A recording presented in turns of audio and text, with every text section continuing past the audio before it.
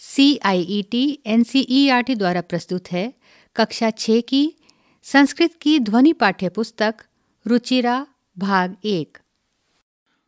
षष्ठवर्गाय संस्कृतपाठ्यपुस्तकं रुचिरा, प्रथमो भागः। द्वादशः पाठः। दशमः असि। पृष्ठ संख्या अड़सठ से पृष्ठ संख्या तिहत्तर तक।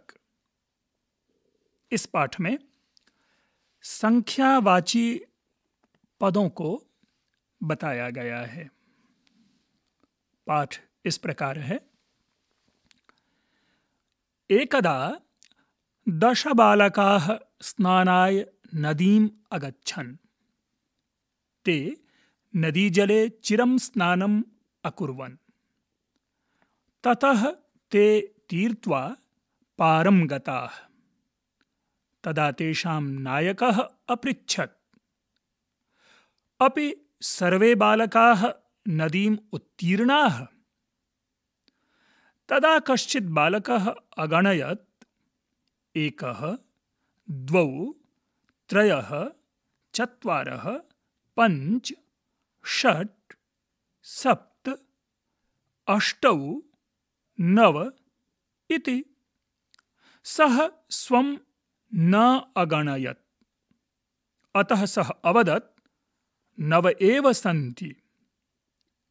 दशमः न अस्ति।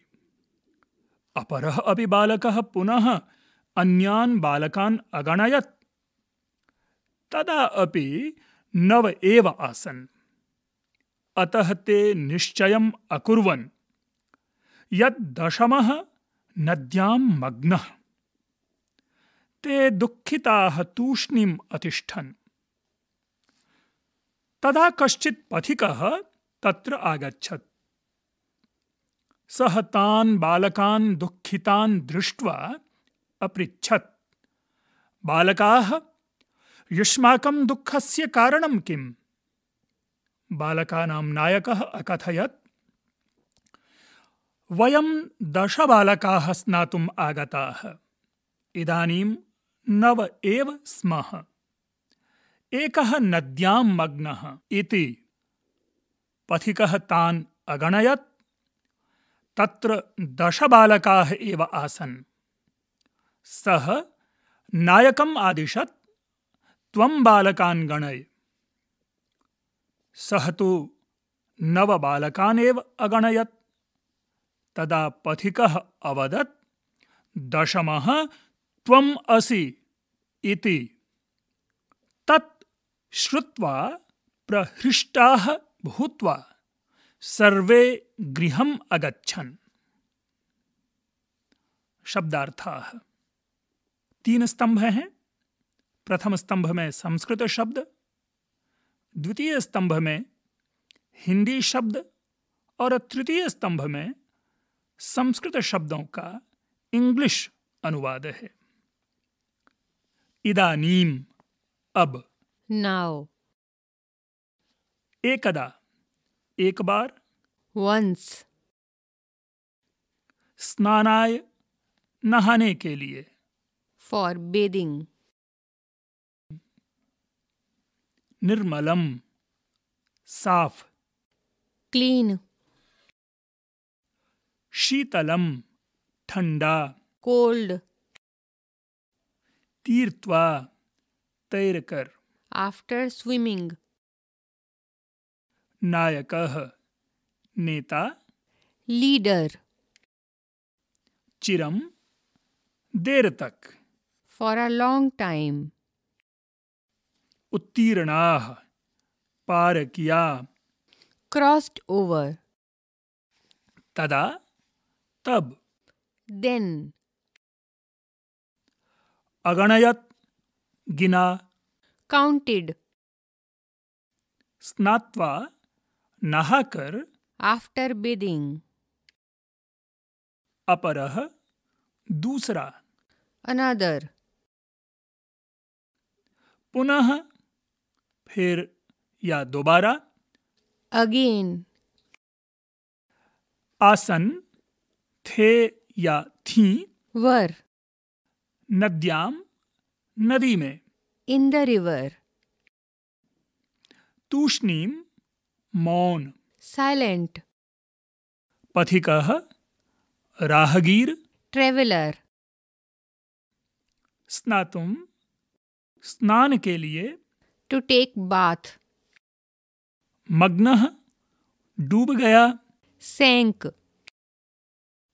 प्रहृष्टाः आनंदित या प्रसन्न। हैप्पी श्रुत्वा सुनकर। आफ्टर लिसनिंग इति। उद्धरण की समाप्ति का सूचक अव्यय। टू एंड अ सेंटेंस और कॉन्टेक्स्ट अभ्यासः। प्रथमः उच्चारणं कुरुत। पुंलिङ्गे स्त्रीलिंगे नपुंसकलिङ्गे पुंगलिंगे एक, द्वौ, त्रयः, चत्वारः, पञ्च, षट्, सप्त, अष्ट, नव, दश। स्त्रीलिंगे, एका, द्वे, तिस्रः, चतस्रः, पञ्च, षट्, सप्त, अष्ट नव दश। नपुंसकलिङ्गे एकं, द्वे, त्रीणि, चत्वारि, पञ्च, षट्, सप्त, अष्ट, नव दश। द्वितीयः अभ्यासः। प्रश्नानाम् उत्तराणि लिखत। क। कति बालकाः स्नानाय अगच्छन्? ख। ते स्नानाय कुत्र अगच्छन्? ग। ते कं निश्चयम् अकुर्वन्? घ। मार्गे कः आगच्छत्? ङ। पथिकः किम् अवदत्? तृतीयः अभ्यासः। शुद्धकथनानां समक्षं शुद्ध इति। अशुद्धकथनानां समक्षम् अशुद्धं कुरुत। क। दशबालकाः स्नानाय अगच्छन्। ख। सर्वे वाटिकायाम् अभ्रमन्। ग। ते वस्तुतः नवबालकाः एव आसन्। घ। बालकः स्वं न अगणयत्। ङ। एकः बालकः नद्यां मग्नः। च। ते सुखिताः तूष्णीम् अतिष्ठन्। छ। कोऽपि पथिकः न आगच्छत्। ज। नायकः अवदत् दशमः त्वम् असि इति। झ। ते सर्वे प्रहृष्टाः भूत्वा च गृहम् अगच्छन्। चतुर्थः अभ्यासः। मञ्जूषातः शब्दान् चित्वा रिक्तस्थानानि पूरयत। यहाँ कोष्ठक में छह शब्द दिए गए हैं, उन छह के छह शब्दों को आगे के पाँच वाक्यों में हमें रिक्त स्थान में लिखना है। ये छह शब्द हैं गणयित्वा, श्रुत्वा, दृष्ट्वा, कृत्वा, गृहीत्वा, तीर्त्वा। क। ते बालकाः रिक्तस्थानं नद्याः उत्तीर्णाः। ख। पथिकः बालकान् दुःखितान् रिक्तस्थानम् अपृच्छत्। ग पुस्तकानि रिक्तस्थानं विद्यालयं गच्छ। घ। पथिकस्य वचनं रिक्तस्थानं सर्वे प्रमुदिताः गृहम् अगच्छन्। ङ। पथिकः बालकान् रिक्तस्थानम् अकथयत्। दशमः त्वम् असि। च। मोहनः कार्यं रिक्तस्थानं गृहं गच्छति। पञ्चमः अभ्यासः। चित्राणि दृष्ट्वा संख्यां लिखत।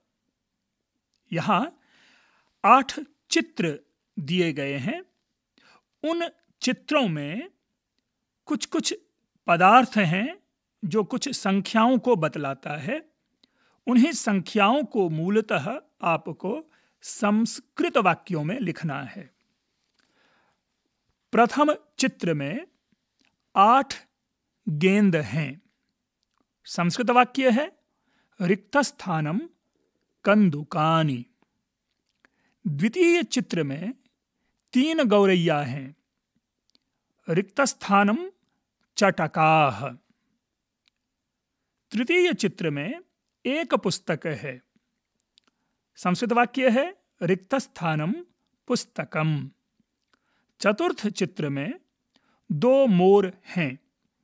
संस्कृत वाक्य है रिक्त स्थानम मयूरौ। पंचम चित्र में दो बच्चियाँ हैं। संस्कृत वाक्य है रिक्त स्थानम बालिके।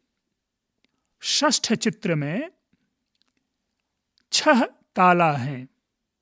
संस्कृत वाक्य है रिक्त स्थानम तालाह सातवें चित्र में पाँच कबूतर हैं।